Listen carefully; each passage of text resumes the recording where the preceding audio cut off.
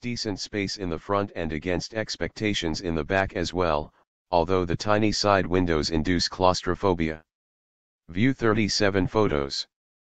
Three powertrains, but only one for us.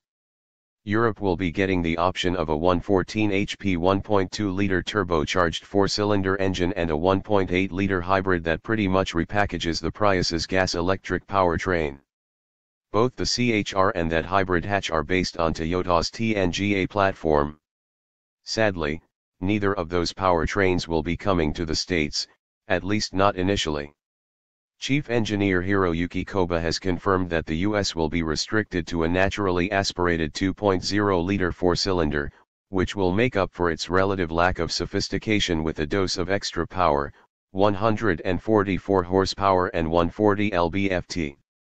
We'll have to wait until the car arrives stateside to tell you what that engine is like in the CHR, as we didn't get a chance to sample it at the European launch. Americans should be disappointed at not being offered the 1.2-liter turbo, which is a sweet little engine that makes up for its relative lack of firepower with a torque output that's too flat to be accurately described as a curve. The peak 136 lb-ft is available from 1500 rpm all the way to 4000 rpm.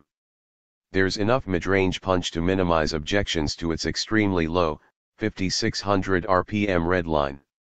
It feels quicker than its factory estimated 11.4 second 0 to 62 mph time suggests, especially when working with the slick shifting 6-speed manual that will be standard in Europe, and which even has a rev matching function to help smooth downshifts.